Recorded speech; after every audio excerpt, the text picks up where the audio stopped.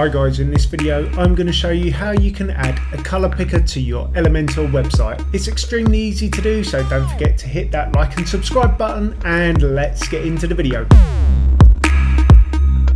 Okay guys, to add a colour picker to your Elementor page, the first thing you need to do is add a new section. You do that by clicking on the plus key and we're going to select one section. Then what we need to do is go into the Elementor menu and look for the HTML widget. You can scroll down the page like I am or you can type HTML into the search widgets box. Once you've found it, drag and drop it onto your page. Now you're going to have to head over to my website which you can find the link for in the description below. And you're going to need to copy this HTML code. Once you've copied it, go back to your website and paste it into the HTML code box. As you can see, the color picker has been added to our Elementor page.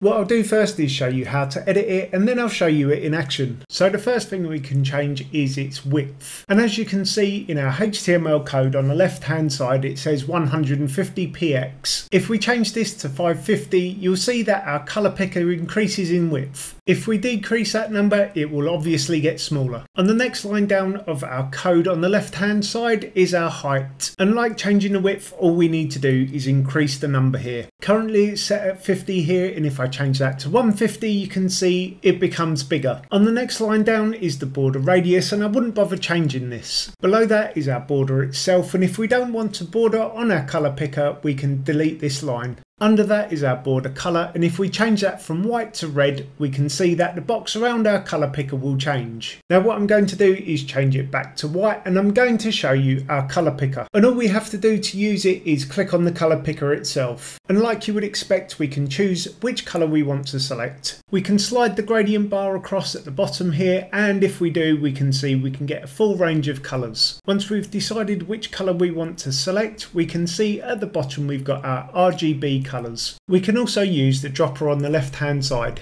and this will target a colour within a few pixels. If we don't want to display our colours in RGB and we want to see hex reference we can click on the button again and it will give us our reference. And if we click outside our colour picker you'll see the colour that we selected displayed on our page. Now if we want to change the size of this text all we need to do is go back over to the left hand side and we can select font size. And like before all we need to do is increase this number and once we select a new colour we can see that our font has grown on our page. And if we want to make this smaller, then all we need to do is make the number lower. Underneath that, we can change the style of our font, and under that, we can change its alignment. If we want to change the colour of our text, all we need to do is go up to where it says colour and change it from white to whichever colour you want. So what I'm going to do now is preview our page and I'm going to show you it in action. Once our page loads, all we need to do is select on our colour picker, choose our colour and once we have we can click off of our colour picker palette and we can see that our colour is displayed under the colour picker. If you have found this video useful so far please do hit that like and subscribe button. You don't need Elementor Pro to be able to use HTML widgets but if you do want to sign up to Elementor Pro there is a link in the description below.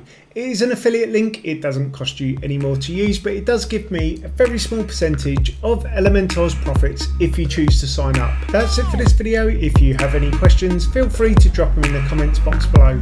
Thanks for watching and I'll see you in the next one.